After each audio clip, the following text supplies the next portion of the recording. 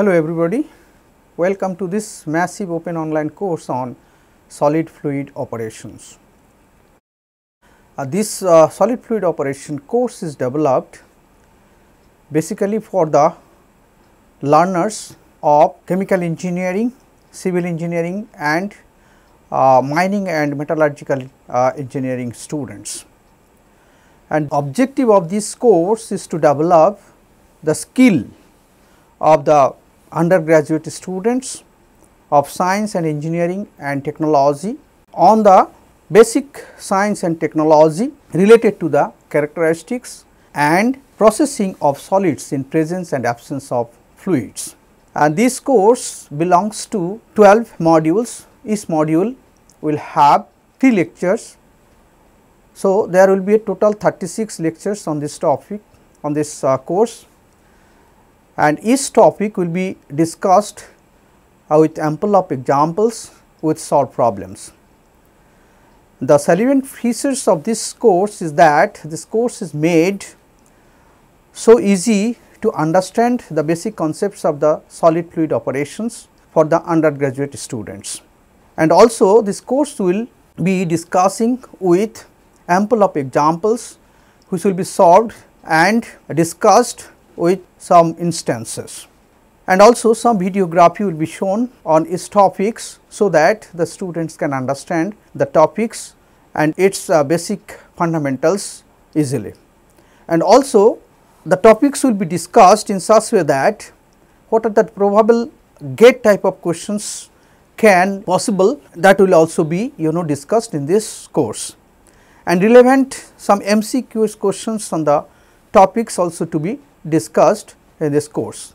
There will be a total 12 modules which will be you know cover different topics such way that the topics which will be you know generally taking from the different institutes or universities what they are following and based on that topics this course is developed or structures and in this course total 12 modules of like what is the overview and characteristics of the particles, what is the size reduction and how that size reduction happens, how size enlargement of the particles will be happening? And also flow you know passed on uh, immersed bodies that will be discussed.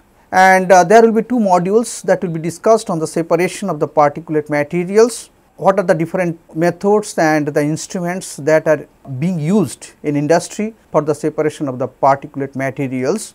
And also in these topics we will be having the module of mixing of solids and liquids and what are the different design parameters of that mixing of solids and liquids and how that mixing parameters will be helpful for designing the equipments that also to be discussed. And also there will be other modules like filtration and uh, flow of fluid through the granular beds of the solid.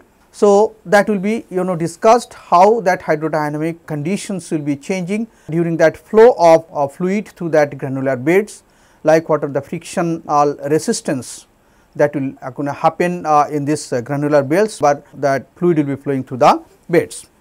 There will be special two modules will be discussed in this topics or in this course you can say and those topics will be very helpful for the students those who have the inclination to do the higher studies or research. So, for them it will be very useful.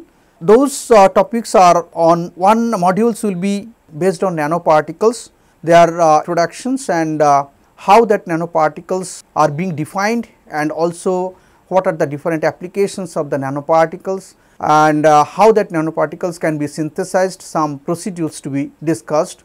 Another modules that is called adsorption you will see that industry most of the applications uh, for separation processes of some gaseous or liquid molecules which is being adsorbed on the solid surface. So, in that case adsorption phenomena will be discussed in this module of adsorption of uh, solid particles absorption capacity of solid particles and also what will be the different mechanism and kinetics of that you know adsorption process that also to be discussed in this module. So, the last two modules that will be on nanoparticles and adsorption and these two modules will be very helpful for you for further uh, study after undergraduate also. So, this course belongs to 12 modules, these modules will be having 3 lectures and total then 36 lectures and within these 36 lectures these 12 modules that I have discussed will be discussed in the uh, lecture wise systematically. I think this course will be very helpful for you for developing your skill on this process of solid fluid where uh, you know that uh, process will be involving by interaction of the solid and liquids. So, I will invite you to register this course and uh, learn this course for your you know skill development and in this case I wish all the best for you and thank you.